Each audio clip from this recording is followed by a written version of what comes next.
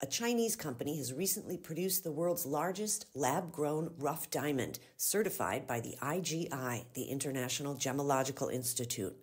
The 156 carat single crystal diamond is bigger than the previous record holder, which was 150 carats.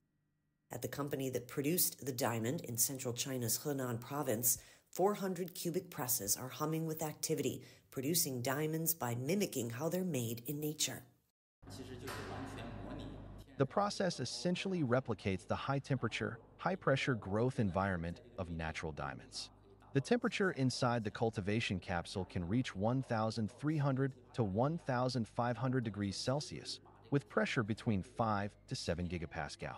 This drastically compresses the natural diamond formation timeline, shortening it to just 7 to 15 days. Like natural diamonds, large single crystal lab grown diamonds have superior semiconducting properties, which paves the way for their use in industries like electronics and information technology.